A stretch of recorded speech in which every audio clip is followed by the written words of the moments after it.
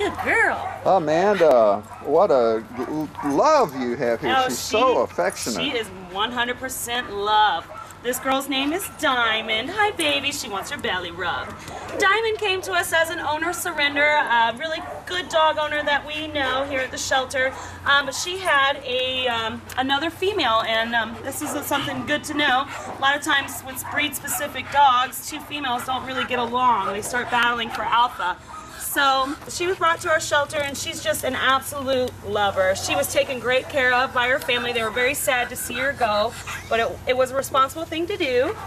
Um, so, you know, we think she'll find a home pretty quickly. At least we hope that you come and meet her. Hey, she could be your friend. She's very, very good. She And- says, I'm just a sweet girl. Look at that. Yeah. What a great face. Linda, do you know how old she is? Linda knows Here's her Linda, since she one was of a our great puppy. volunteers. I And would say Linda, she's you know this about dog. two. Two Right, years right. old. Yeah, she looks like a two-year-old. So she's fit and active, and she would love to go home with somebody who could take her on jogs or be a little active with her. Yeah, yeah, she's a fit girl ready to go.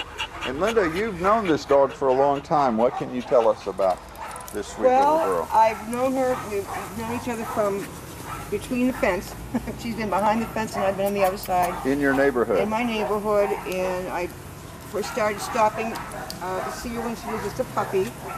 And we, uh, she, she's learned to sit very well for her treat, Uh-huh. which she knows I have in my pocket. What you got? What she got? And can you sit?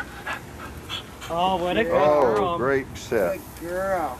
Yeah. But she's always been very happy to see me and kisses and smiles and I just love her. Yeah. Oh. I love her. She seems to be doing great in the shelter. I don't see any issues with aggression. Um, she's just just easy going. It was just, you know, sometimes in a house they battle over territory, uh, it, toys, all sorts of things. So Right. they were really responsible owners, and as sad as they were to see her go, they knew that she was just so easygoing and laid back and would definitely kind of fit into almost any home. Yeah, yeah. And since she lived in a home, I'm betting she's house trained. I bet so. Actually, I talked to the owner. She says she's crate trained as well. Oh, they great. crated the dogs um, overnight.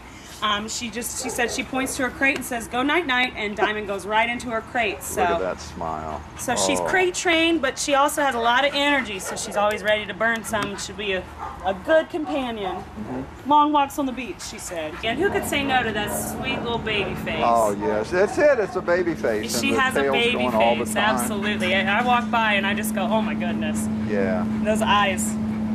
Yeah. She just needs a loving forever home, and you can give that to her, and you'll have yourself a diamond. No kidding. This is Diamond. She's at. Oh, she likes tummy rubs too. Oh, yes, yeah. we've seen that. Diamond's at the Nassau Humane Society, 671 Airport Road in Fernandina Beach, across the street from the airport. She is uh, a love. Please come see Diamond. Sit. Good girl. Good girl. She learned to sit. Yep.